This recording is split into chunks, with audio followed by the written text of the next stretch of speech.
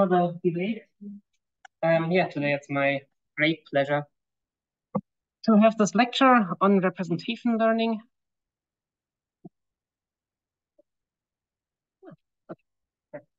And yeah, my name is Florian Busch. Um, Matej is still out of this country at NeurIPS, um, so that's why I'm taking over. First of all, because we're not assuming any prior knowledge, um, let's get into some motivation. And I tried to make this a bit interactive. Um, you have heard about causal discovery by now. Now let's um, look at images, because I mean, images, machine learning, really interesting. Um, I want you to do causal discovery on that image. What would you say?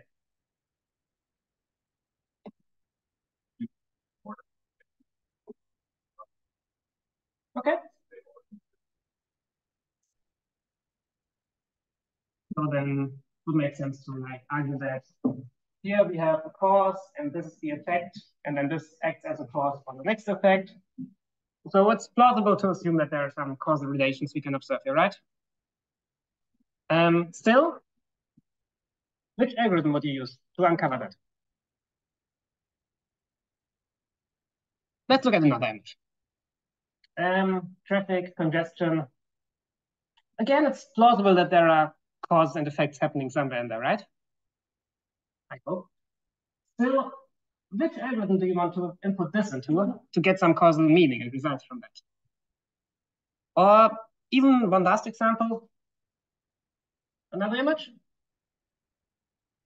Now, let's ignore the algorithm question for now and just say, what are even the cause and effects here? What's the cause? What's the effect?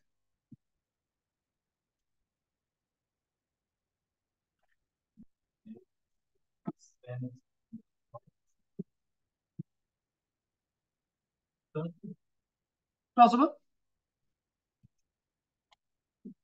Do you want to add something? And maybe we can consider the order in which they have uh, went on each other, because some order might be um, not plausible or not causally plausible in this setting. I also wouldn't say this is necessarily false. Um, but I think you get the idea that this is already really difficult to say. Um, one big uh, challenge in general is that, first of all, we have a list of like, I don't know, 200 times 500 or whatever pixels. Um, we, we don't really want to use these as variables because for one, it's very high dimensional. And we definitely see, okay, there are other things we would identify as variables in there, frog, snail, turtle. Um, I mean, there exists machine learning on a lot of stuff already. For example, here, MSAM, short for segment anything, um, would allow you to input an image and then get some representations for pixels that belong together. And for example, here you could see that the frog um, consists of actually more than one um, groups of pixels belong together, but the um, snail is definitely clearly these two things. And then, okay, we have some segmentation. We're not in the high dimensional space anymore and use these as variables. That might be a start, sure. But even then, and this is what I tried to aim at with the discussion from before, it's not really clear already because for this, um, I looked at a single pixel and the segment anything model then could tell me, okay, what are possible ways like this pixel belongs to other pixels. And on the like smallest level, there's the body of the snail, then the entire snail, and then even the frog as well, maybe. You could argue that this doesn't make as much sense, but there are definitely some like different stages, different abstractions for like which variables we would want to choose. Um, just saying that each pixel belongs to a specific variable is definitely not the only thing we want to say. And um, in general, if we want some representations, it's really hard to pretend that there's only one single ground truth, as there are so many multiple like perspectives you could have. Is it like a single variable, or do we look at the entire thing? Maybe both at the time, if you're talking about, about abstractions, that would be great. Um, but I mean, then you have another more difficult problem. Okay, very general motivation here. Um, let's look at something a bit more practical. Um, maybe you've seen this example already. Um, let's step away from causality for a minute. We have a classifier, and the classifier is trained on only cows and camels, two class classification car. And there's some training data, camel, camel, camel, cow, cow, cow. Let's assume there are enough, more than three of each.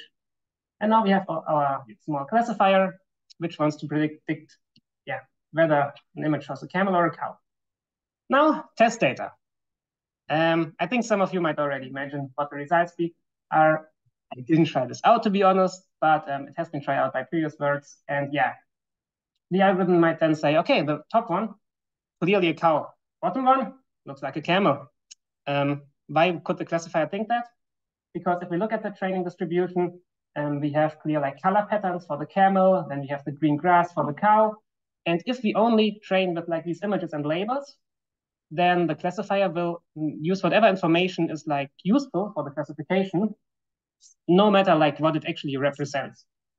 Um, this is another motivation because if we had so-called disentangled representations, so representations where we have really um, variables that represent one, well, meaningful thing in non-scientific terms, and then we could say, okay, yeah, the camel is really this part of the image, which is Y. And based on this, we should classify as a camel and not based on the background. And if we have such a representation, we shouldn't only care about which parts of the image um, belong to like which variables, but also how they relate to each other. In this example, for example, um, even though we, like as humans at least, know that camels usually or often live in, live in a desert, we know that if we see a camel on the grass, it's still a camel. So not only having some representations, but also understanding the relations between the representations is important. Um, to finish off the motivation, we have seen for now um, causal inference, which is what we start with. We have some causal graph, and we have a set of causal variables. So yeah, as you've seen in the earlier lectures. And then I think Jonas had the causal structure learning lecture where we didn't know the causal graph, but we still knew what the variables are. And then we had to find out, okay, which variable causes another, are they correlated in some way, whatever. And this basically removes both from the picture.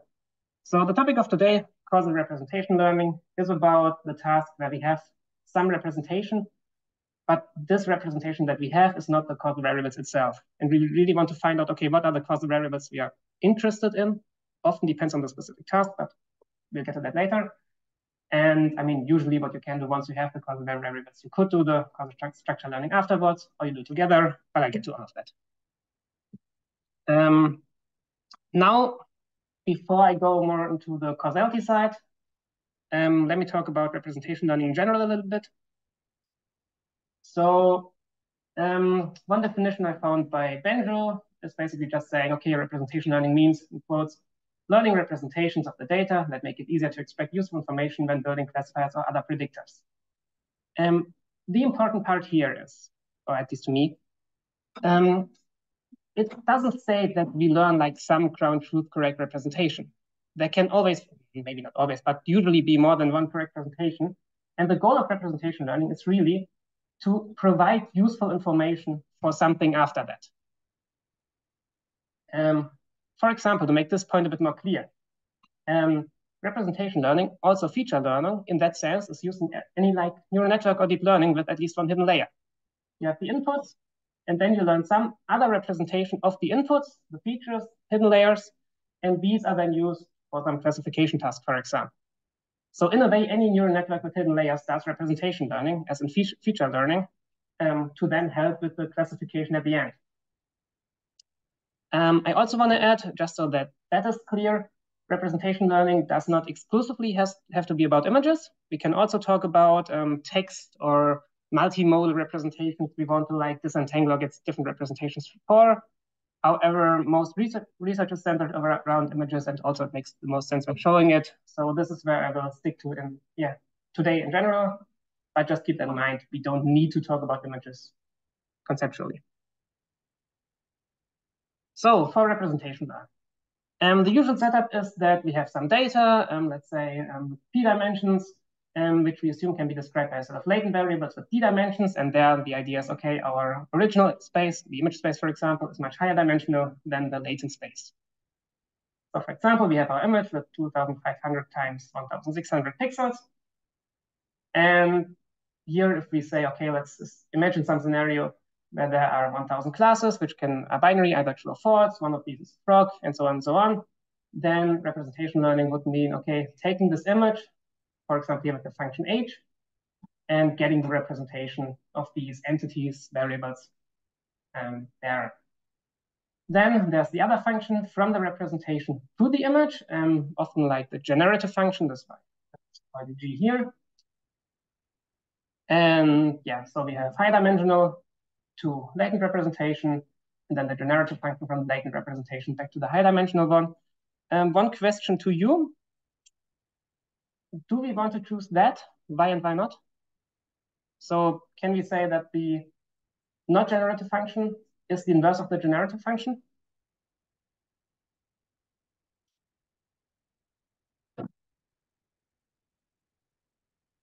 To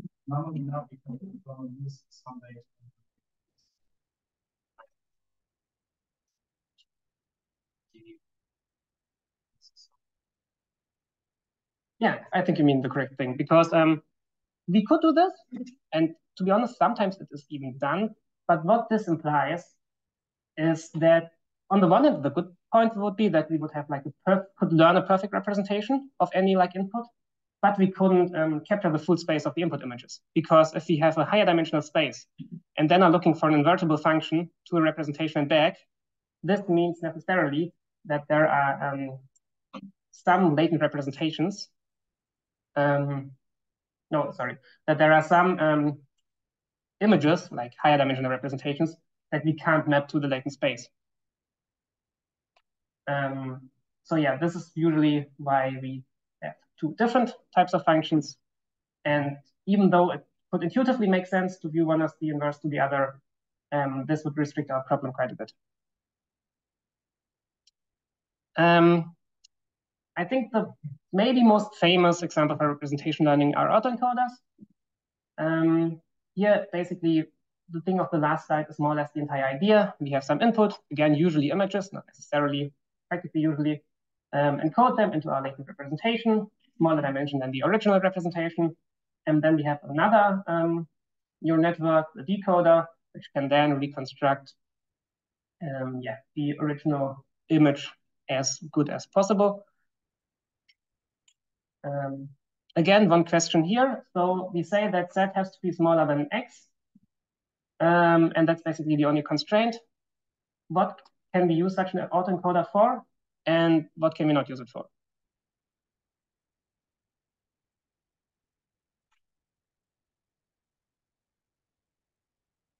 Okay, I always find this interesting because um, I'm not quite sure if you just, if you really don't know, you just don't want to say it. Um, because I thought autoencoders were quite common knowledge, but I mean, but that I'm asking. Yeah?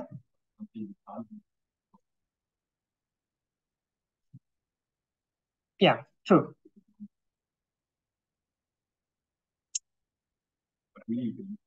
If you say that the uh, input space is like can have any particular values or that you fill the entire space, then yeah, obviously you can't. Any other idea why it would could not be as useful. Maybe even looking a bit at like causality interventions. I can also tell you. I thought it's more interesting if you think about it. All right. So I mean, the good point um, is obviously the goal of the autoencoder itself. Um, it really achieves um, successfully learns a compact representation that we can then use to reconstruct the original representation with minimal error. We can, definitely cannot guarantee zero error, at least not for like in general, but usually that is what is achieved by an autoencoder quite well. The problem here is, since this is the only like constraint, the only like loss we use to train this model, the encoded representation is something, literally. So um, it's definitely not disentangled and we can't really understand it. So if we now say, okay, we have a latent representation, for example, let's take the that example again. And we say, okay, it should be 10,000 values, or yeah, 1,000 values in the latent representation. Then we would need to be incredibly lucky to have like one of these um, variables actually represent a frog or something like that. More likely, it's some entangled mismatch representation of a bit of frog, a bit of turtle, a bit of background, whatever. We don't have any influence on that with the usual autoencoder. The usual autoencoder is really just for compression and nothing else. Um, so then interpreting the latent space or actually intervening on it is basically impossible, at least like with a purposeful goal. And that's what variational autoencoders are for, to an extent at least. Um, here, instead of simply encoding one um, latent representation alone, um, the latent representation is encoded by a, a distribution with mean and variance, and usually Gaussians are used. And um, then the loss is not only with, about reconstruction, but also about reg regularization. Um, I could have decided to talk half an hour about how this all derives and stuff like that for variation autoencoders. I don't think that's important for this lecture. If you're interested about all the mathematical details, there are a lot of really good blog posts online. Um, really, the only thing I want you to remember here is, okay, we have some data representation, which by the means of training it um, is in such a disentangled form, at least to an extent, um, that the variables actually more represent something we would also interpret as variables and not some entangled mishmash of a representation. Like I said, are good blog posts if you're interested. Look at it. Otherwise, it's also fine. Um, so if we have uncorrelated features, then these variation autoencoders work quite well. However, often features in our world obviously are not uncorrelated. One simple example here, let's say foot length and body height there's definitely some correlation. Larger people have a higher foot length as well. So then if we look at some distribution, then we have like an oval shape here. And let's say we want that our autoencoder learns a representation based on data with these, um, based on some data, and the latent representation should have two features exactly. Now, what would probably be learned is a representation that looks like this. So we would have like one um, vector here and another vector here. So um, these two like red dotted lines I've drawn in there. Uh, we can see that using both of these together, then if you like you vary one and you vary the other, we basically represent the space of our data with small people, small feet, large people, large feet, and so on, and pretty well. But this is not what we would understand as a disentangled representation. Because here, if we now look at one of these yeah, latent variables and change it. And we would go along one of these red lines. So in other words, we would change both the foot length and the body height at the same time. Still, combining both of these variables, um, like linear combinations, we could get anywhere. But looking at only a single one at a time, we couldn't, we wouldn't, we would change both of the like features we actually intend to represent. Is that clear so far? Otherwise, always feel free to like interrupt. Um, in that sense, for a disentangled representation, what we would rather want um, is that the features actually represent like the features as we intend them to. So like one horizontal and one vertical line.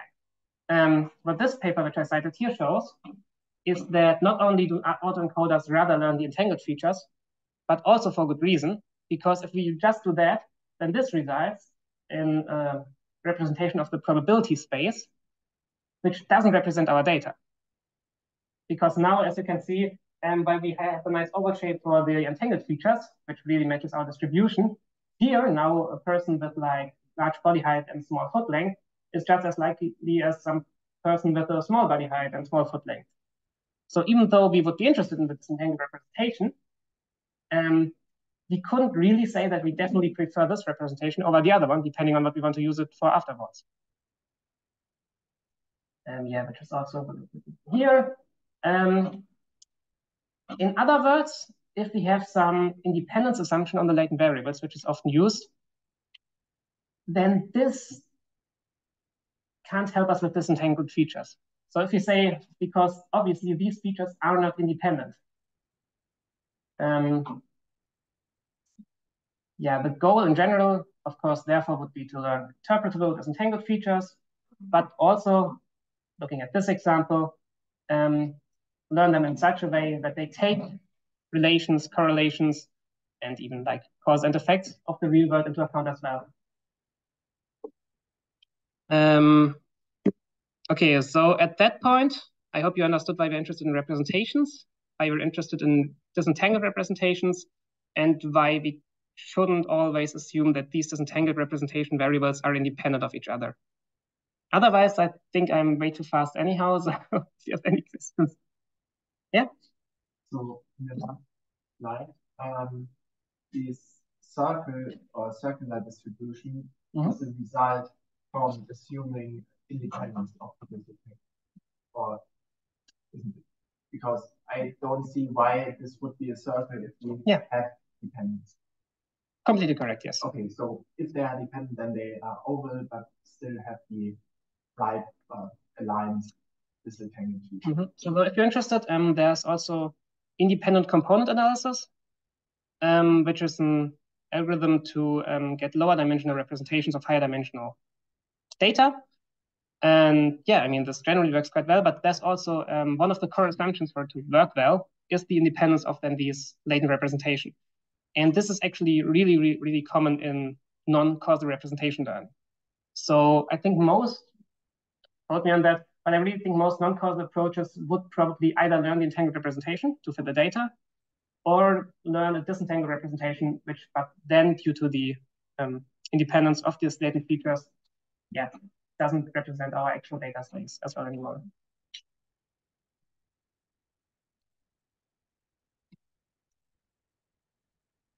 All right. Then yeah, let's get to the core of this lecture, causal representation learning. Um, I've shown you this slide in the motivation already.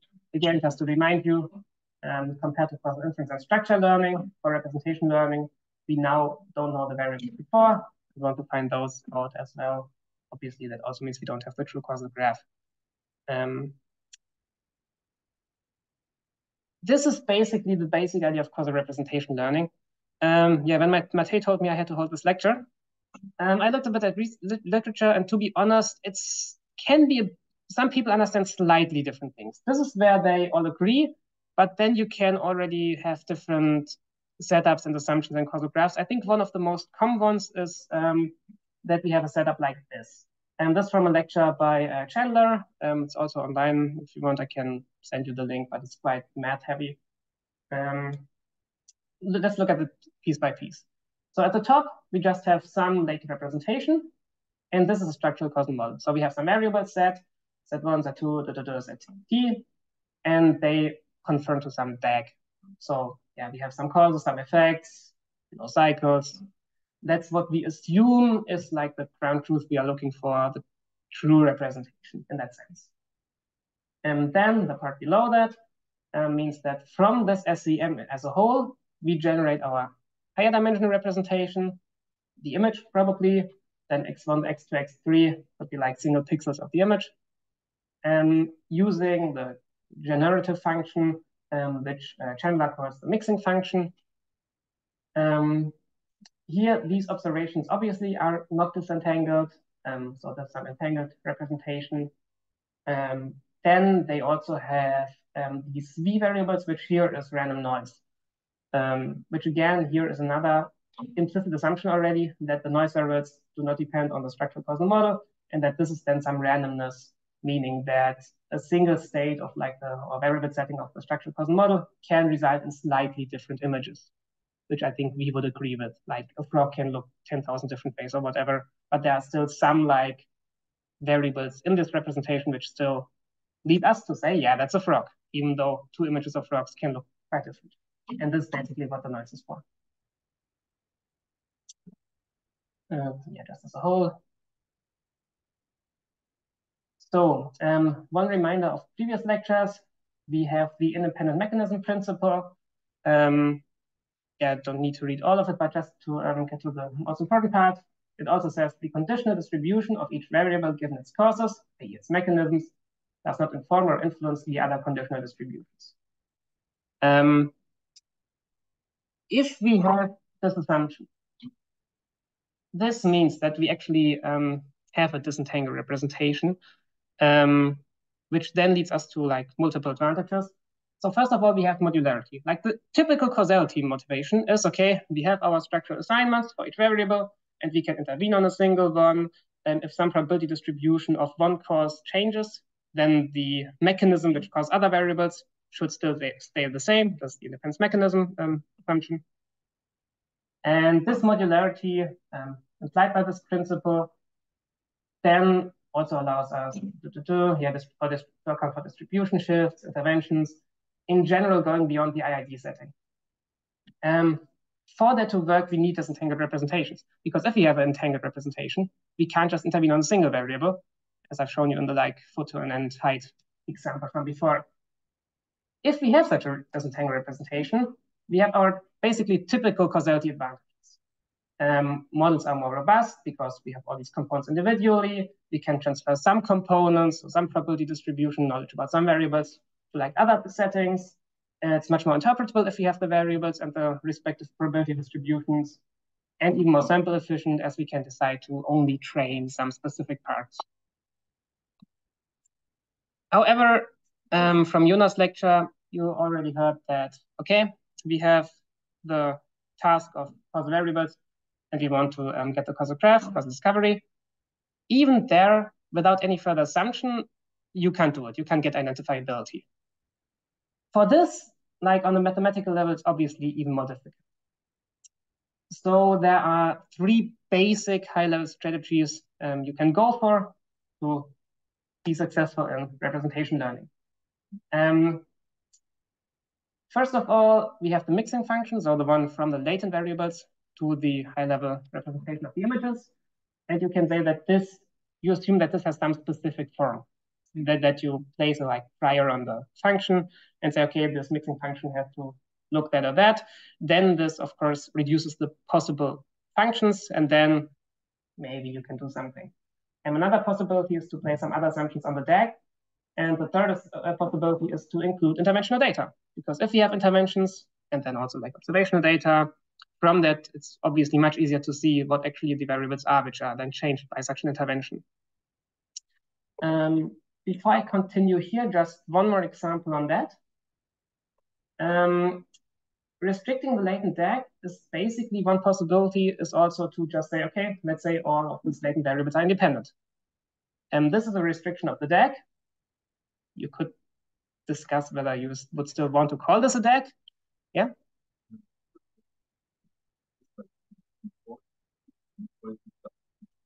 Rest assumed. And basically, if it doesn't hold, then you have problems. Um, I mean, often, if it doesn't hold completely, you can still get, let's say, something useful, but obviously you then lose all these like mathematical identifiability guarantees. So then you can't be surprised if it doesn't work anymore. Um, so yeah, so the non-causal um, approaches to representation learning basically do just that. They restrict the latent DAG. Then we have independence of the variables in the non-causal setting. And then this is one of the tools they use for that. Okay, now then let's get to, okay, maybe before I do that, any questions? I think I should be a bit more slowly, right? Sorry about that. I tried it. Um, this following section, um, I have decided to give a rather broad overview over several approaches instead of like completely focusing on one. So I mean, if you're interested, of course, just tell us, Matej, me, or whatever. There are many approaches. I could like have 50 slides for just to show you, okay, assumptions, then this proves that, da, da, da, and this is why we get identifiability. Um, I rather try to like select a couple methods and give you more the high level idea and intuition. Um, there's much more to it, but I think for the purposes of this like single lecture on representation learning, uh, this makes more sense. So yeah, if you have any questions about that, I mean, feel free to tell me.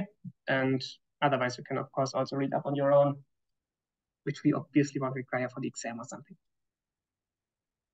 Um, yeah, starting off, invariant causal prediction, um, short ICP. Um, this is actually, if you want to see it like that, not a full representation learning um, method because it has like one specific goal, which is um, classification.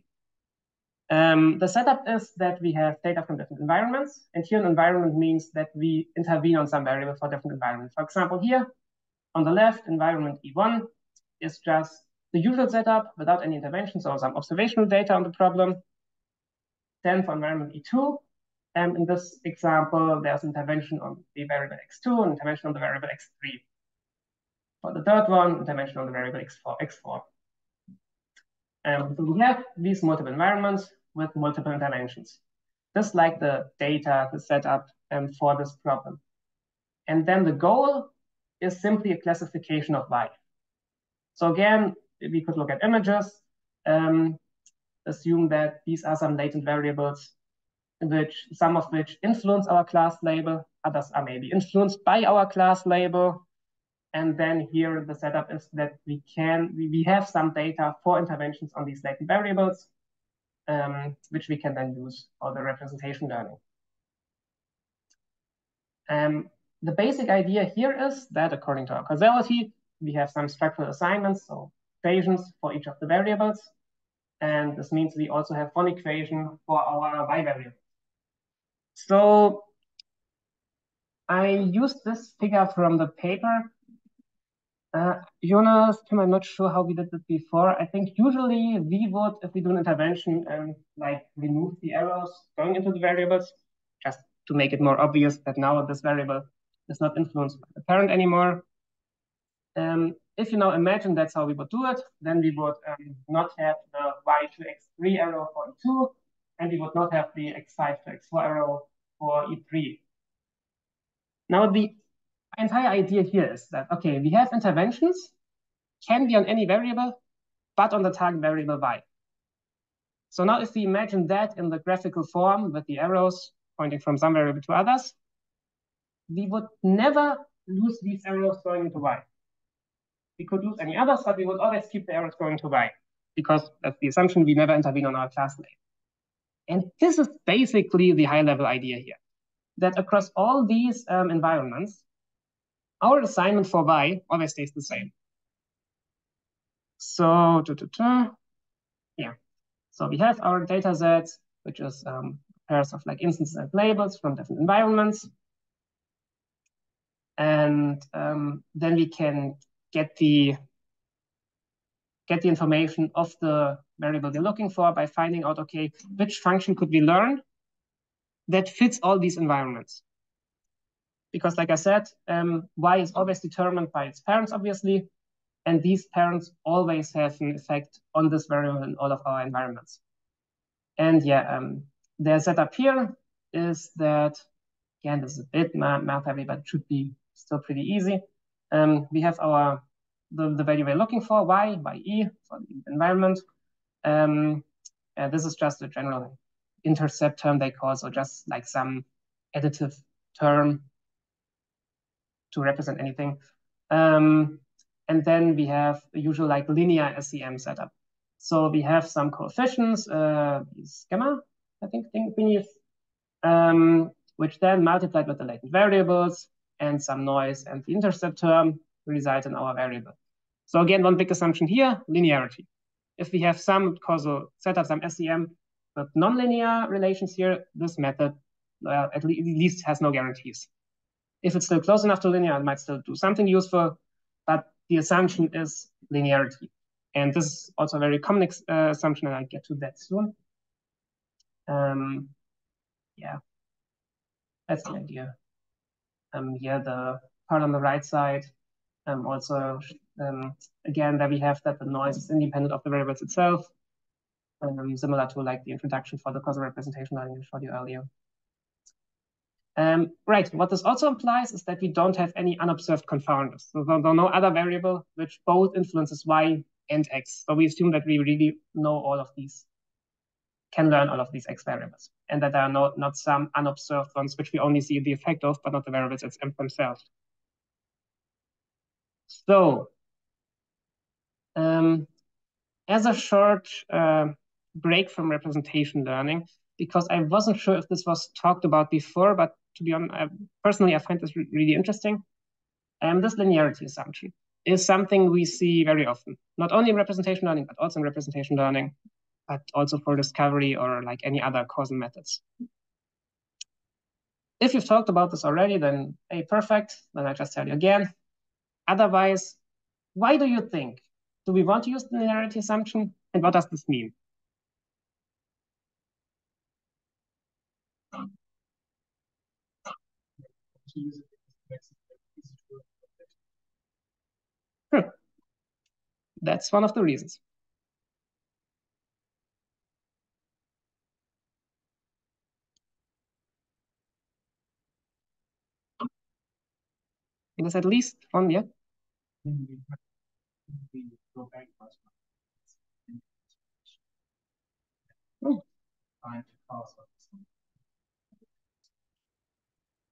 I actually haven't thought about that.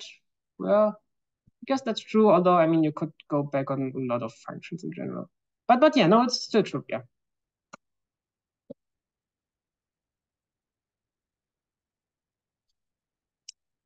Hmm? Even if we have non-indirectly small data, we can often have more data now. And still gain linearity. Keep that in mind, uh, we have a method later which actually does something similar. Also true. Okay, let's say, um, again, let's not care about representation learning for a second. Um, let's say causal discovery, and we have one method which assumes linearity, and we have another method which just learns any function using a neural network, like universal function approximator. Um, we have our training data, we train the linear model, we have our training data, we train the neural network model. Um, obviously, the neural network model is more expressive can learn linear functions, it can also learn nonlinear functions. Still, what could be an advantage of the linear model here?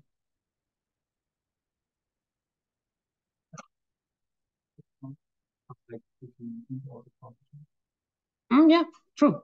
I also have not written that down, but it's definitely true.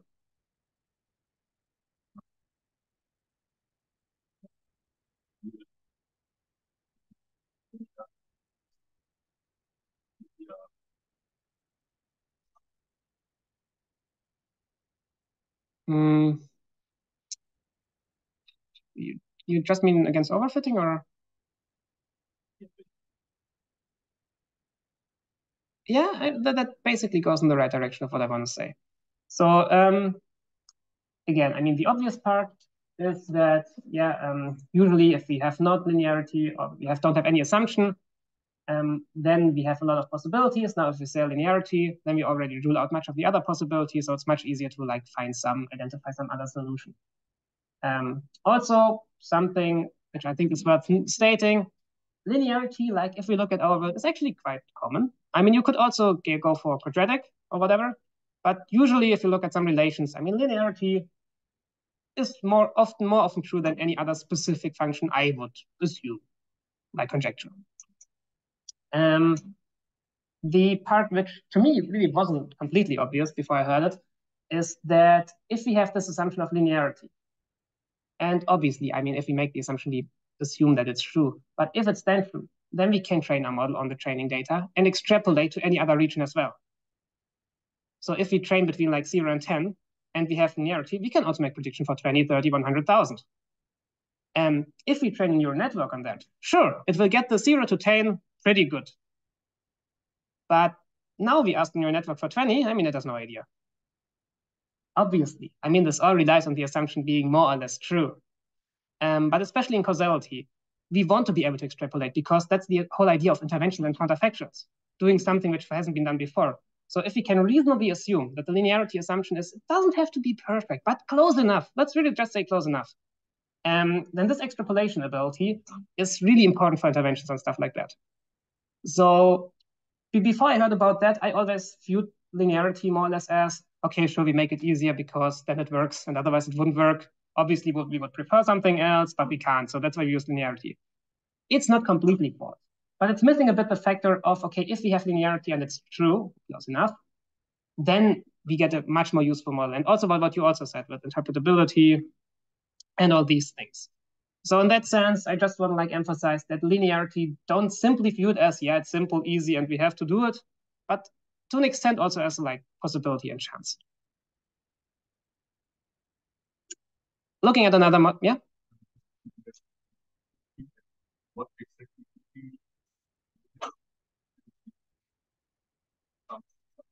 Um, do, do. Um, so we have our SEM, and then we say that the functions are linear, like, like from cause to effect. So we have like the, the, the causes, here, I mean, there's a vector, these can be multiple ones, and times some vector plus some bias term, whatever. Yeah? Um, why does extrapolation fail if we have a true function that is nonlinear. If it's true, it doesn't fail. But if you're just use a neural network, how can you say that the function will be true for extrapolated terms for out of distribution? Kind of overfitting property. Yeah, that's what I mean. That this goes in the same direction. Yes, exactly. And yeah, I mean, you could also use a quadratic function. If, if that, that what you what you think is true, then it also works.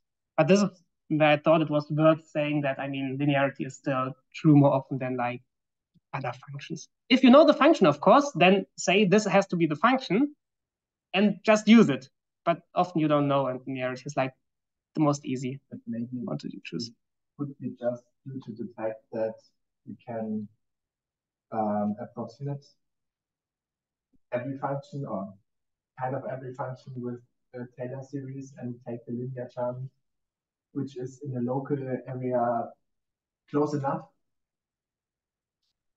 So Mm. physics, uh, I think they do this all the time. Yeah, then you couldn't really extrapolate that well, right? Yeah, but somehow it's close enough for so close is um, yeah really dependent on the context. Yeah. I mean, true, of course. Um,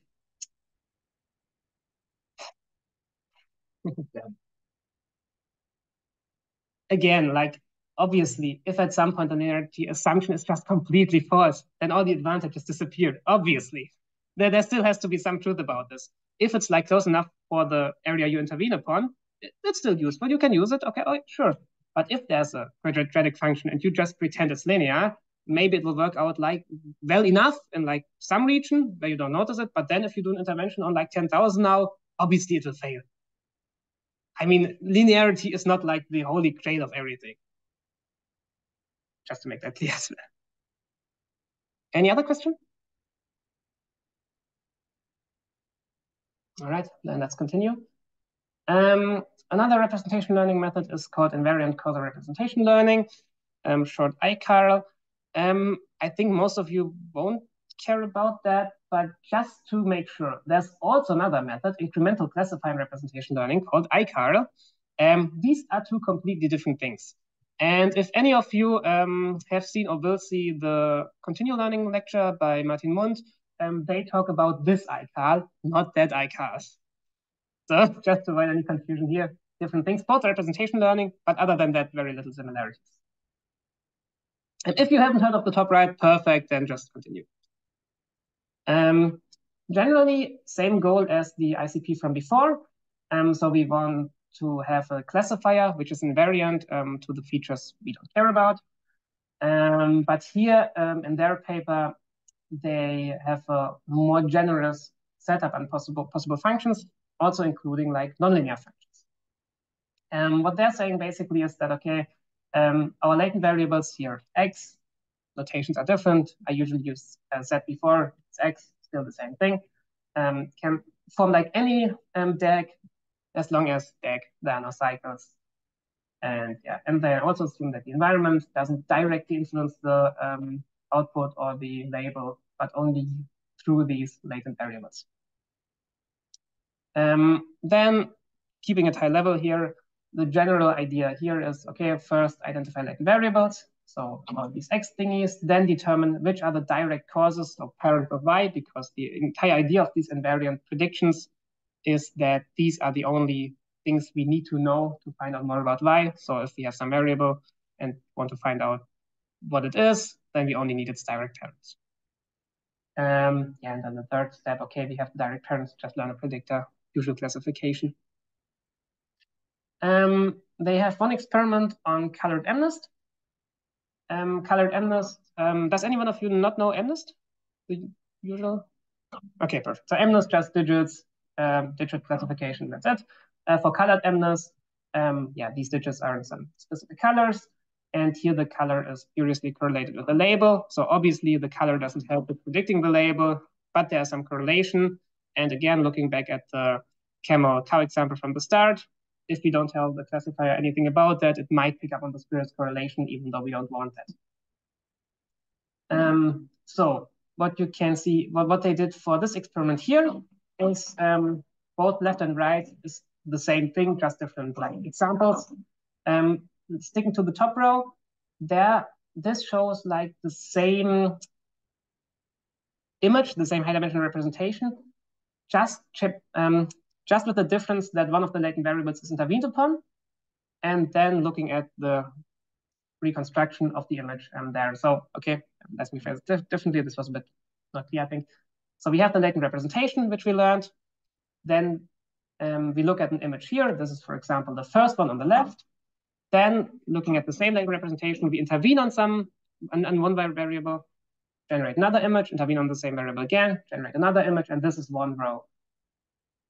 For the top row in particular, um, the intervention, yeah, we intervened on a variable which is a cause of our class. I mean, because this we found out in the method, we determined the direct causes. So the top row shows an intervention on one variable which we determined as a direct cause of our label. And as you can see, yeah, the, the left one on the top left there, I don't know, is it a three maybe? It's definitely a bit weird. The second one might be a five or definitely a bit weird.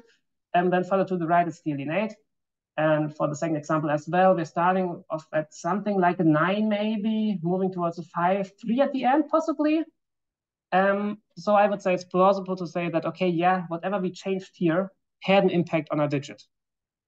On the other hand, the bottom row now, we intervene on a variable which is an effect. So that should not change our class, which is the digit. And as we can see here, yeah, 8, 8, 8, 8, 8, 3, 3, ah, okay, a bit difficult to be honest, 3, 3, but the color changes. Again, I mean, yeah, it's not perfect, perfect, but I think it's pretty clear to see that for the top row, yeah, we're definitely changing something about the digit. For the bottom row, much less so. Was that example clear now? Yeah? Basically means yeah, so, so we're intervening on the latent representation and then running our decoder.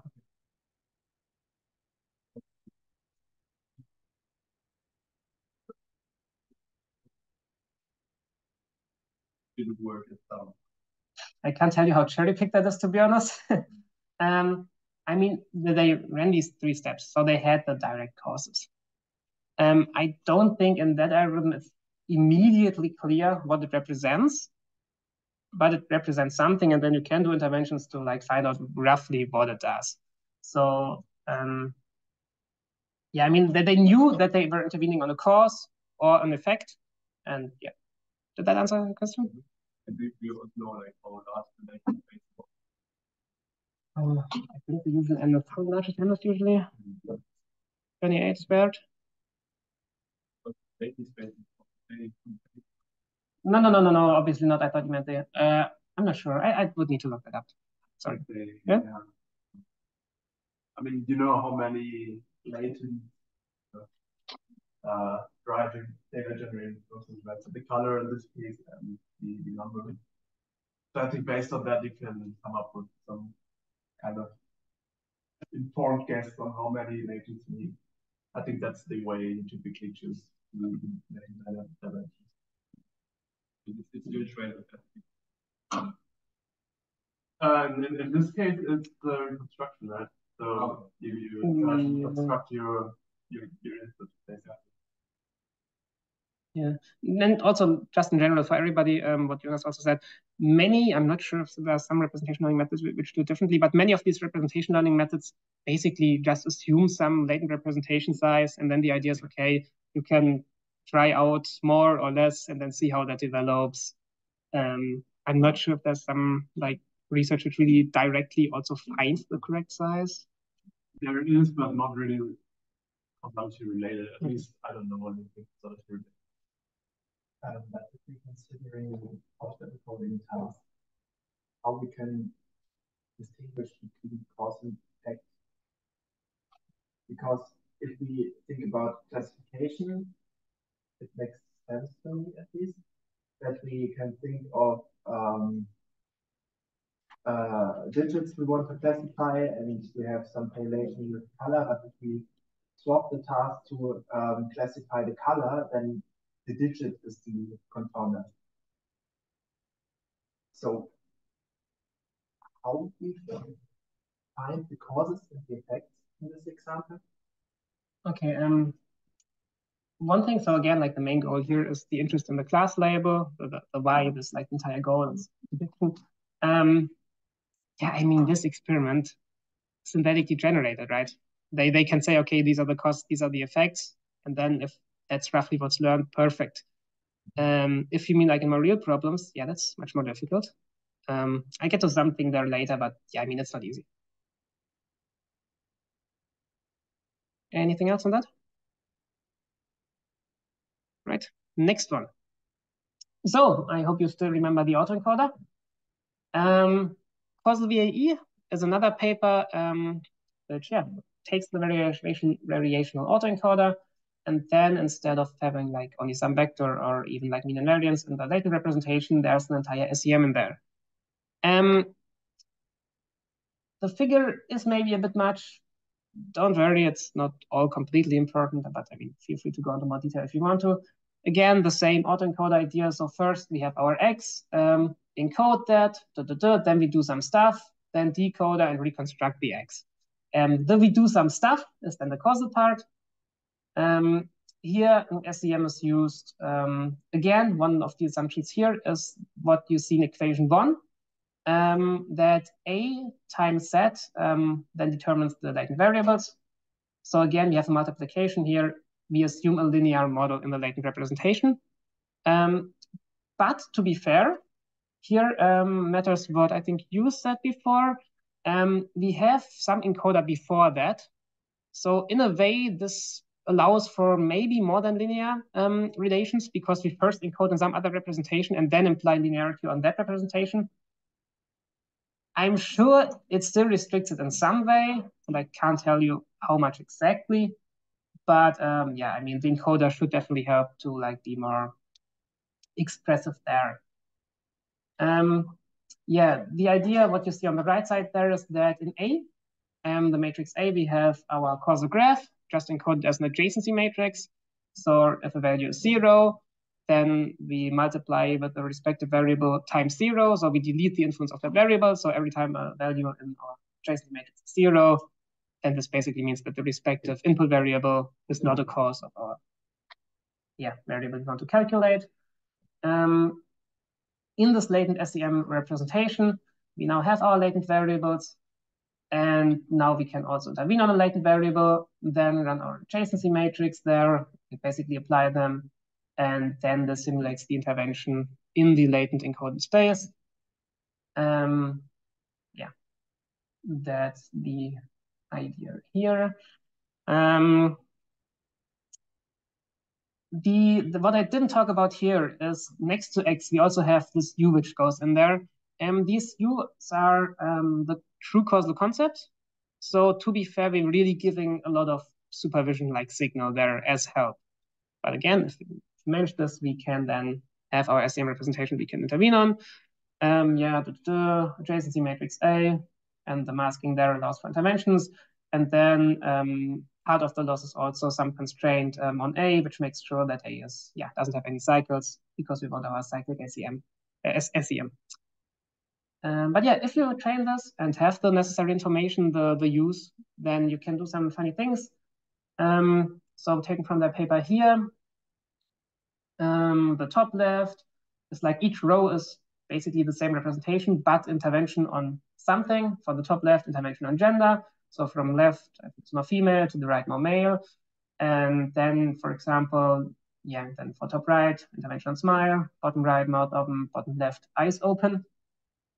And what they um, circled here in some parts is then, okay, um, depending on what we intervene upon, other variables change as well if they are caused by that, or don't change if they are not caused by that. So this then the SEM part, right?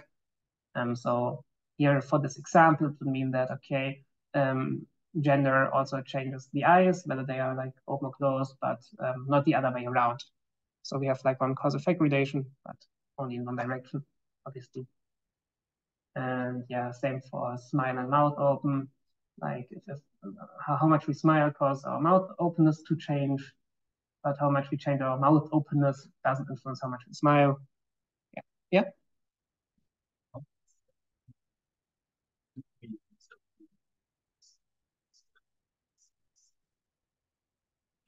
some point, uh, um, the causal network has to know that, mouth mouth means this thing that I yeah. That, that's the supervision signal in you. So those are there during training, we give the ground truth concepts. Um, we try to really learn that. So again, we kind of have the representation already in a way. I mean, maybe. But again, at least if you have this information, then you can really learn this. And then the intervention is um, shown here. So you first intervene on, on the set vector on the left, then apply the causal graph, and then you have to intervene on the result again just to make sure that this wasn't affected by something else. Um, but yeah, I mean, from there to there, then the effects of your intervention um, take place in the other variables. In this example, um, also the causal graph is given into the structure. And that's actually learned. That's, yeah. Yes.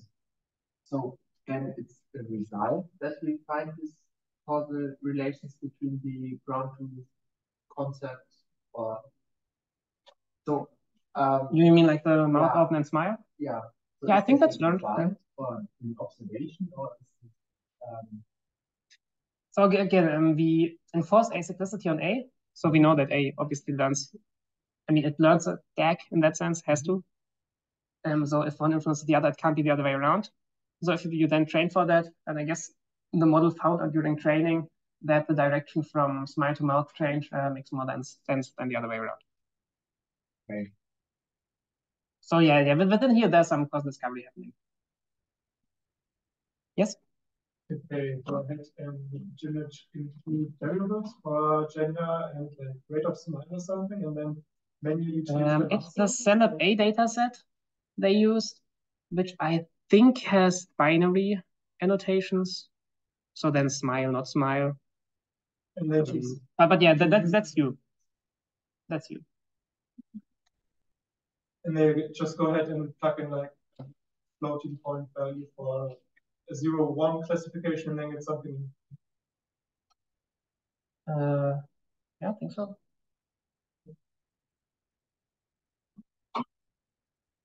No, if you want to know more, let me know after the lecture. I can look into the paper again. Um, any more question on the VAE? Causal VAE. All right.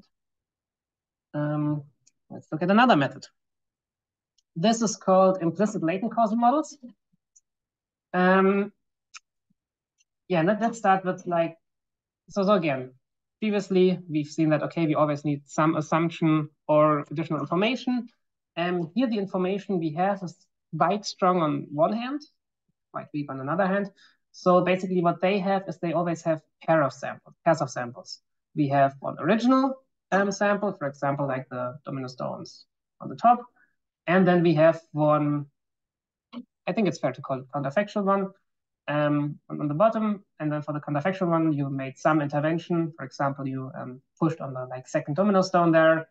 And then you also observe how that impacted the other variables.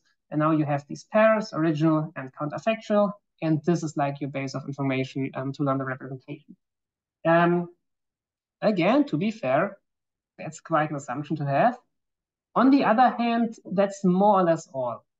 Um, so they don't know what the intervention is beforehand. So you don't say this intervention on stone two or something. You just say, okay, original, interventional, original, interventional. However, you don't know um, how exactly.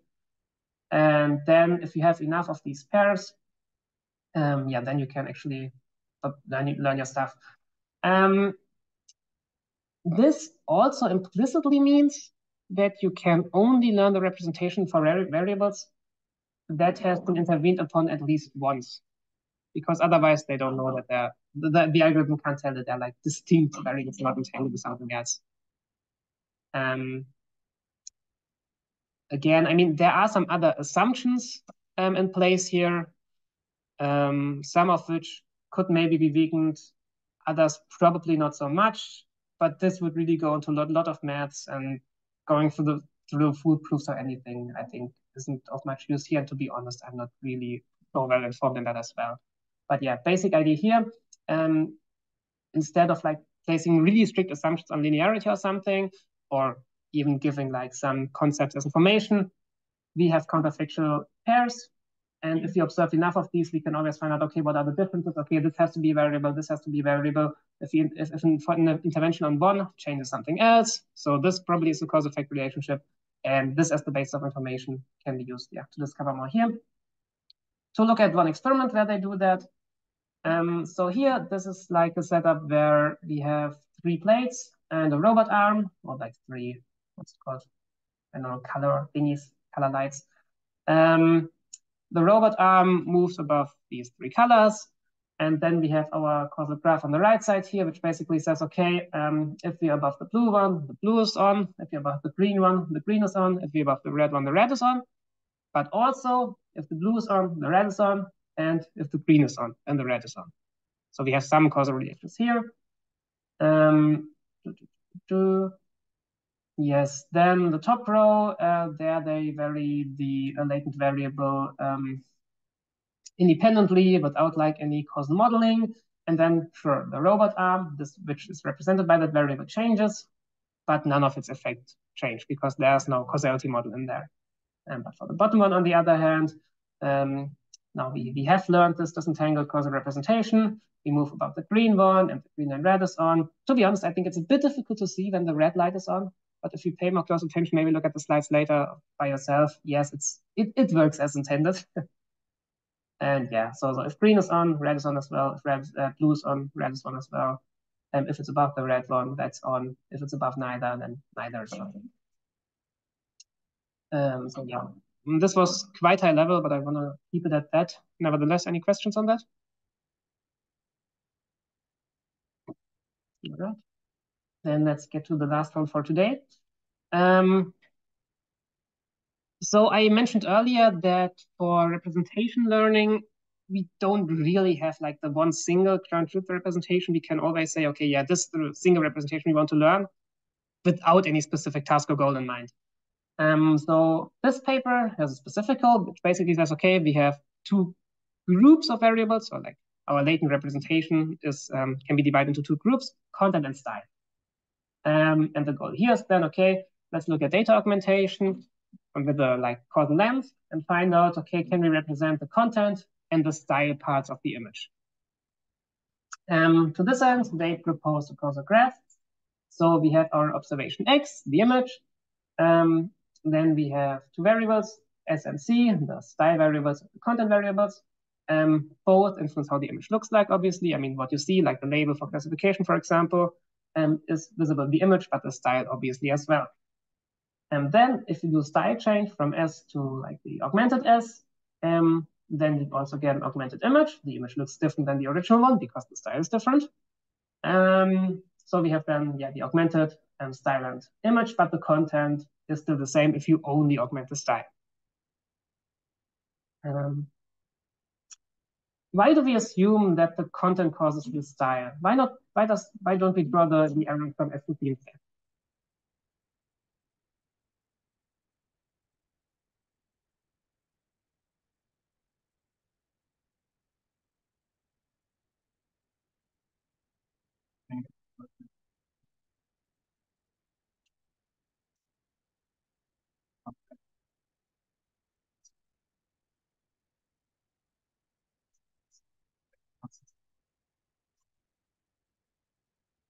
don't think that's really the answer I'm looking for.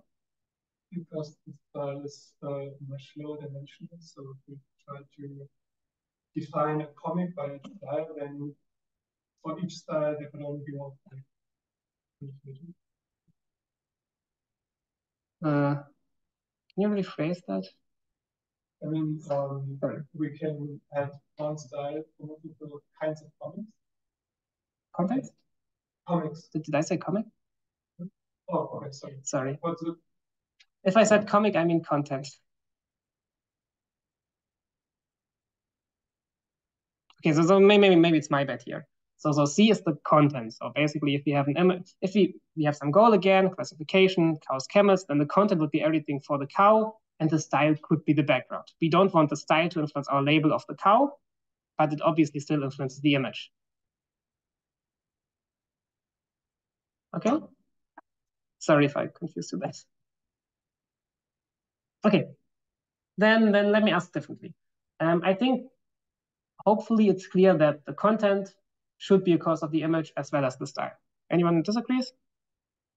Okay, so I think we can draw these like yellow lines very confidently. Now let's say, okay, mm, I disagree because I mean, this is an assumption in some way. We, we didn't prove this or something. We, we postulated this as our problem from formulation. So now, okay, I say, no, I disagree. Let's draw an arrow S to C. Yeah? And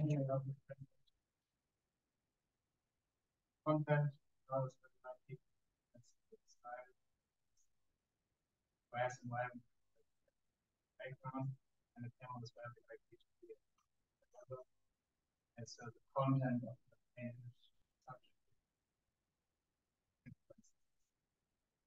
Okay, yeah, the content in, content influences the style.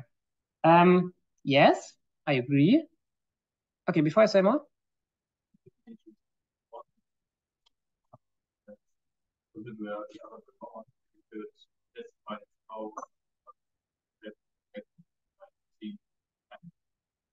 Yeah, that's correct. Or let me phrase it differently. Let's say we have style two contents. So, so this purple arrow was switched around. And then we obviously still have content to X. Now we do an intervention on the style. Now this would change the content. But that's exactly what we don't want, right? Is we want that the style um, is not, yeah, um, that the content is independent of the style because like we want to make our classification based on the content. But if we make our classification based on the content and the content is caused by the style, then suddenly our label is also caused by the style. Because the style, the style then would be an ancestor of our label because style to content to label. Is that clear now? So yeah, in other words, the class prediction should be invariant to the style and it must not depend on it, yeah? It's basically what you said.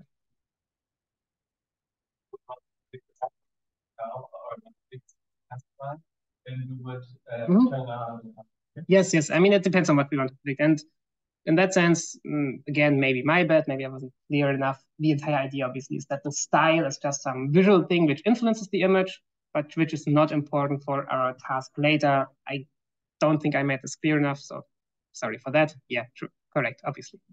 If we want to classify the style, then I don't know, we would probably, and and this would just be the same variable, I guess. And we would just have one variable for that, yeah.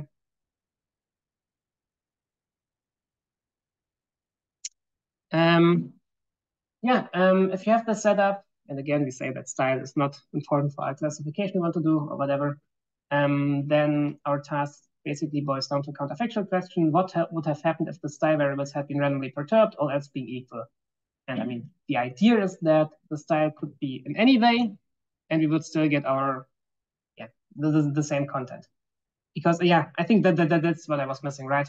Um, because data augmentation and machine learning is usually used to make a bigger data set and, and a more varied data set. So if you have like an image of, of a cat, then you can also augment this image, maybe rotate a bit, maybe crop a bit, maybe like uh, mirror the image, and then you have more diverse data, and then this um, helps your classifier be invariant to these changes of style.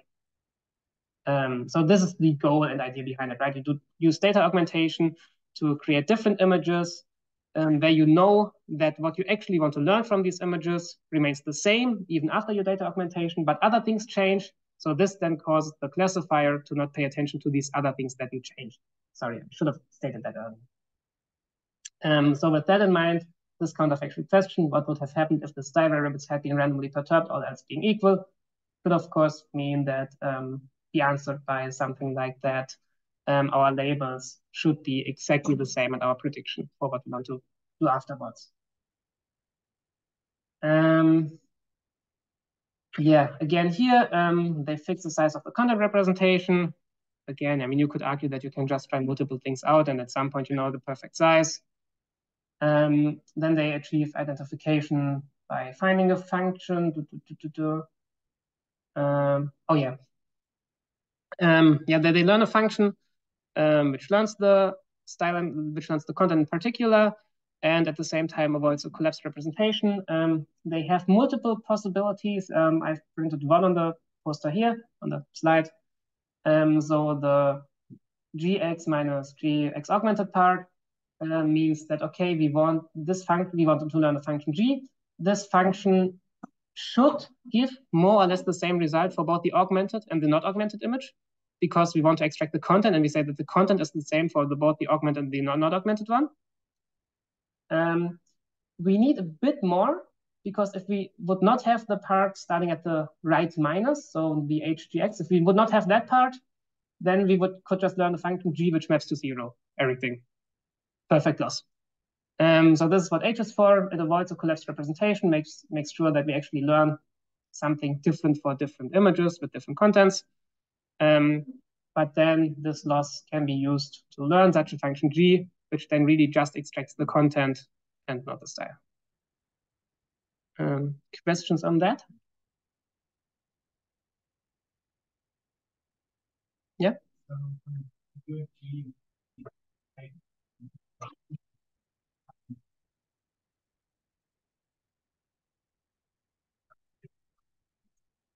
And it will run a representation. So, so some latents, some sets, if you use the notation I used before, um, where they encode like cow features, but not desert features. And then if you would really like literally drop the cow and put it in a grassy background, then it should result in the same contact vector, more or less.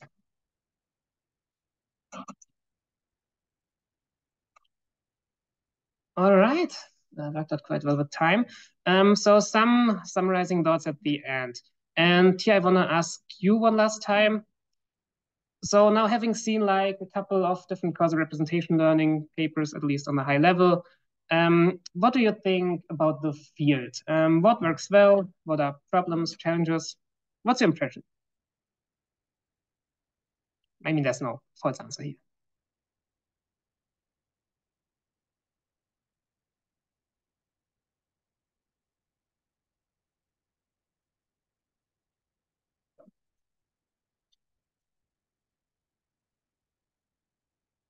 Hmm, I'll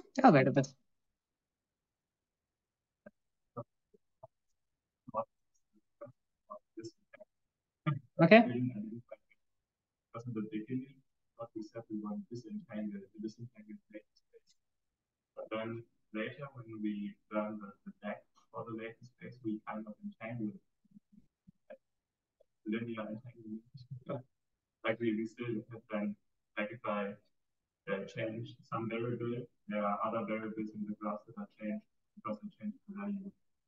You know what I mean? They're kind of entangled together. Mm -hmm. Um, I should have put that on the slides. Um, okay. Also, I mean, we have a recording as well, so I'll try to describe that. Um, if we have our causal model, and but I don't know for variables also, then you can have like joint factorization, right? I'm saying the probability of A, B, C, D is the probability of, and then, and then if you have a causal graph, you can basically say, um, like the the variables which have no cause. So the, the probability, let's, let's say we have A causes B and let, yeah, just that for that now, right? Then you can do the joint factorization as probability of A times probability of B given A. Um, this is a disentangled representation as we have um, in two factors, the distribution for A and the distribution for B. Um, if we have a non-disentangled rep representation, and this would basically mean that the probability distribution of AB is the probability distribution of AB. If we don't have causal knowledge, then that's all we can do, basically. Um, so there, both A and B is very much entangled. But for the other case, probability of A times probability of B given A, we have one factor for A, one factor for B. These structural assignments for the respective variables. Now, if I tell you, okay, we have just probability of AB, intervene on that. Can't do. I mean, you lack information. On the other hand, if you have the other one, the, the causal perspective, and you know that this conforms to a causal graph, I mean, of course, you can always say otherwise, but you know that this is the causal graph, this, you have the structural causal model in particular, then you can say, okay, yeah, we intervene on A by changing the probability distribution for A. We intervene on B by changing the probability distribution of B given A. And you can then also say, okay, now not given A anymore because I just said it, whatever. Um, so if you have a causal model in your latent representation, then this is a disentangled representation in that sense. Did that answer your question?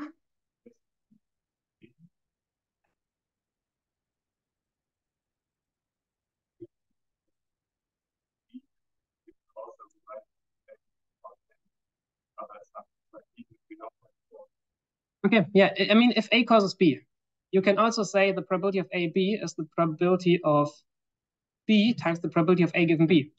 I mean, this is also true on the observational level, but I mean, either you can't intervene on that or you intervene, but not correctly. so that, that that's why, why I was saying that the probabilistic perspective obviously only makes so much sense. We, we don't need like some probabilities, we need the structural causal model because then we really have the causal effects. I mean, that's the entire idea of causality, right? That just using only the probabilities, we are not causal.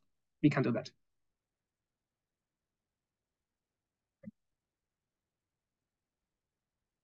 Anyone wants to give any thoughts on that?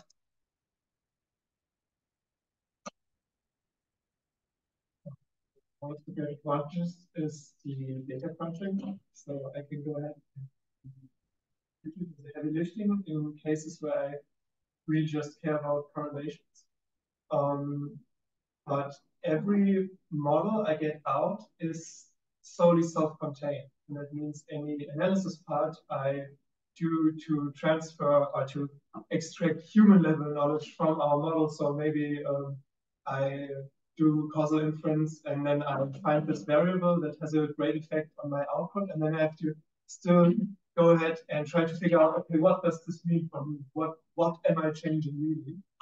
Um, so what I would think would be a great benefit would be a way to incorporate a base structure that could then be applied to take off this load. So um, if I have a repeated setting, for example, and I analyze data that comes from some broad equal use case, uh, I could maybe identify more or less stable global patterns that I could assign some meaning to that I already know, uh, something that makes sense to me, and then try to break down my causal chain in terms of maybe not exclusively, but in parts these pre-prepared building blocks I've already analyzed and know what they do, uh, to maybe make the output more useful for human reasoning instead of just having a model that does work mathematically, but it's kind of still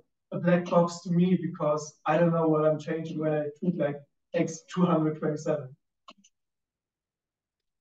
Okay. Um, so yeah, it's more understandable.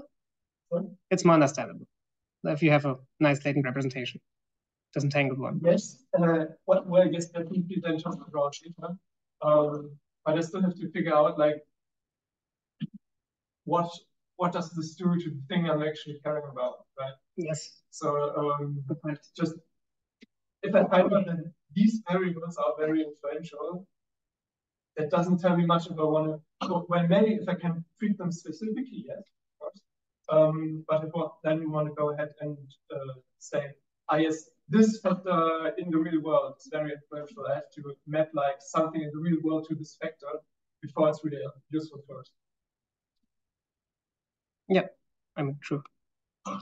Um, was quite in detail. Okay, then I won't torture you anymore and give you my personal thoughts. Um, again, I mean, that's not completely like true or false here.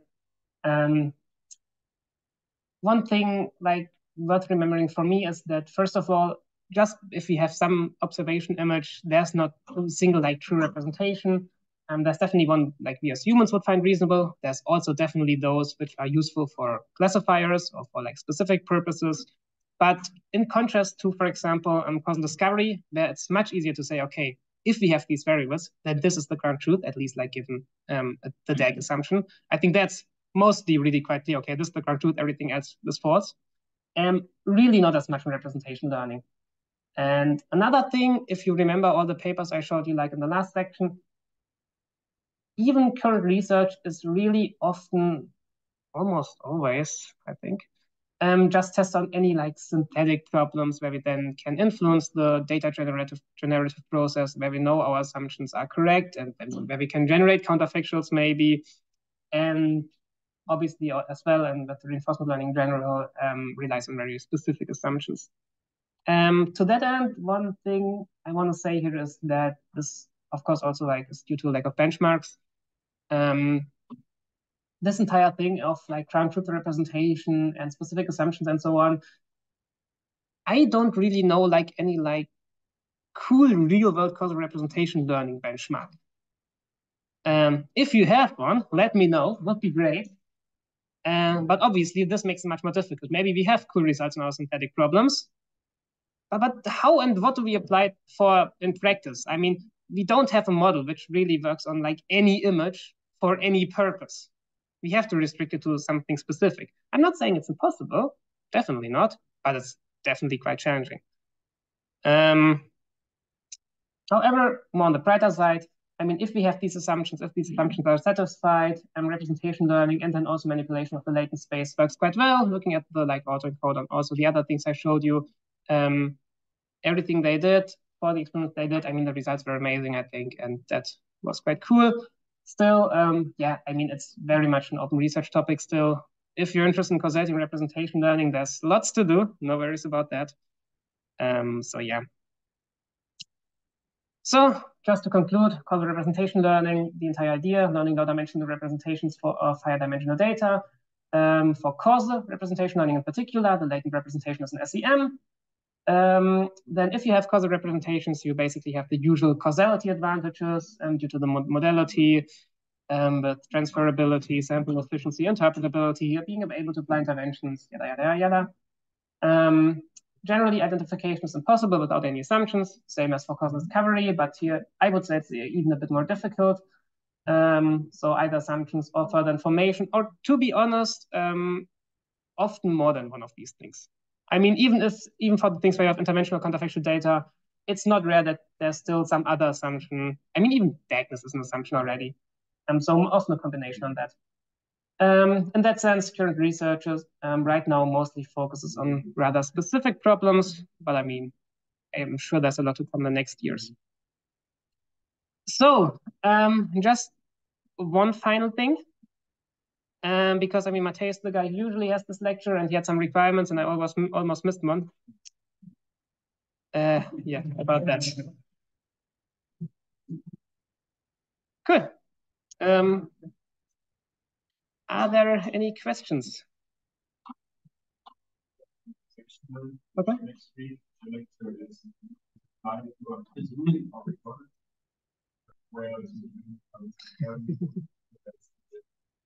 Oh man, I'm still getting recorded.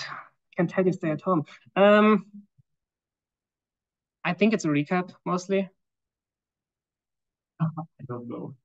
I mean, okay. Let me just say, and that's definitely true. Matej is aware that this is like Friday afternoon, right before Christmas.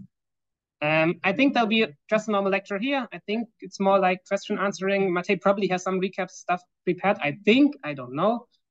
Um, I mean, if you have time, yeah, obviously come. Matej will be happy to see some people here. Not everybody comes to Christmas already, but I mean, we're recording every lecture. We will also record the one next. And I mean, it's understandable if you go to your family. Sorry?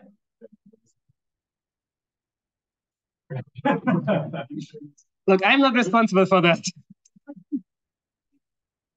yeah, I mean, Mama said he will update the stuff until Tuesday. Right now, he's in he's he's he's not in um not here. He's in New Orleans um, so quite busy at the moment. But yeah, I mean, I remind him as well. He knows the the stuff, including this lecture, will be up until Tuesday, and I think he'll also make sure to upload the Friday lecture of next week, at least this year. I hope.